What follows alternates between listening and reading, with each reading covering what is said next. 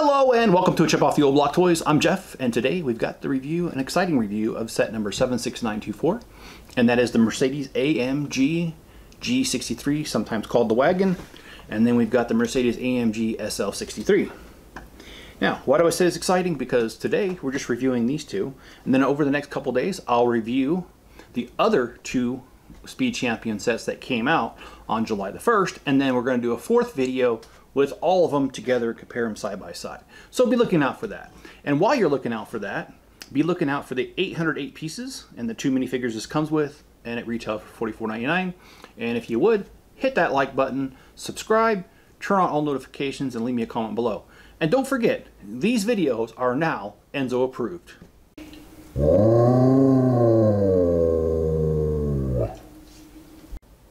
Alright, for those who have not seen a video of mine before, this is what I do. First, I tell you the dimensions. In this case, we've got two sets of dimensions to give you. And then I'll tell you about the minifigures and anything about them, like, like whether they're unique, uh, whether they're in the their sets, that kind of stuff. We'll tell you a little bit about. Then we'll go ahead and from 0 to 10, I tell you what I think of the set. And I go off of value, 0 to 10, creativity 0 to 10, playability 0 to 10, ease of build 0 to 10, and then part out value 0 to 10. And then I give you sixth ranking of the overall, and that is where I average those five, those five scores I just told you, and that's the overall ranking. All right, let's go ahead and let's jump into this review. Well, let's start off with the dimensions of the G63. This right here, I love it.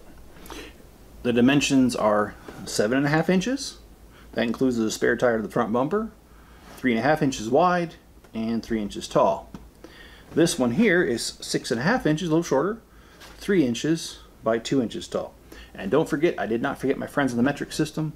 That means on this one, it's 19 centimeters by 9 centimeters wide by 7.5 centimeters tall. This one's 16.5 centimeters by 7.5 centimeters by 5 centimeters tall. And as far as the minifigures, there's only two in this set.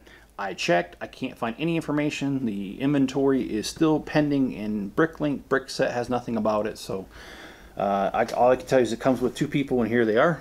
They're right in the car. And let's jump into the value.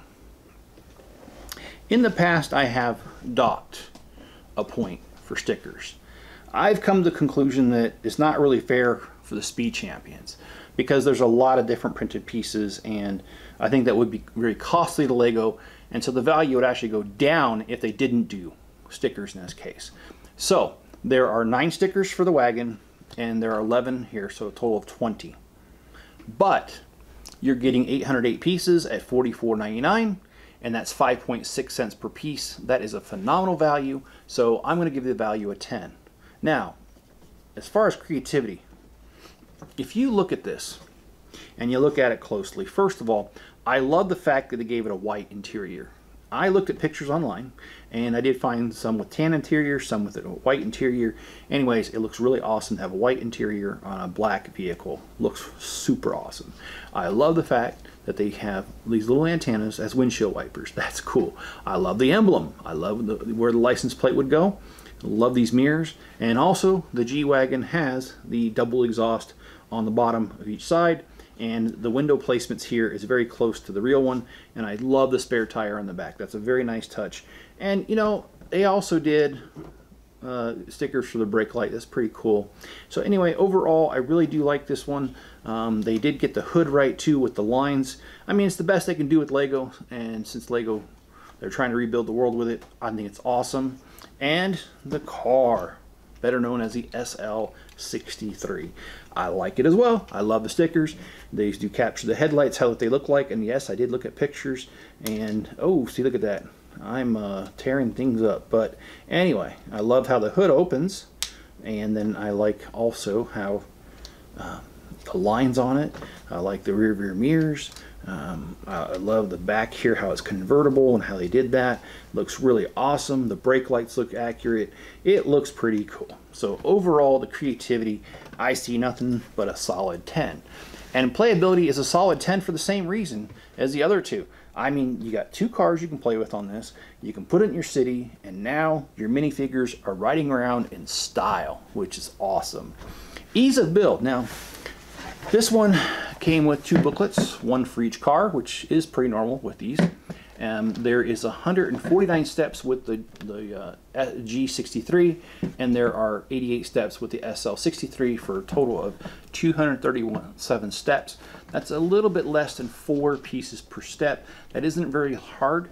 So, and there wasn't really any part of it that I could remember that I was like, oh my goodness, I can't believe I can't see this. It was very, actually pretty easy build. So I'm gonna give it a part out, or ease of build as, as an eight, meaning it's pretty easy. Now, part out value, I'm gonna give it similar. I'm gonna give it an eight. There are some wedge pieces here that I'm not really sure what I would do with it, but the fact that the fenders on this one are not one piece does allow a lot to part out, even more than the normal car. And these tires aren't too bad. These are standard tires on both of these that would, I think, work pretty well some, somewhere else. And yes, I meant to do that.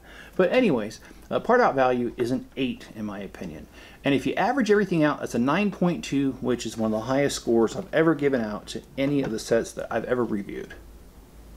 If you've enjoyed my video, please hit the like button, subscribe.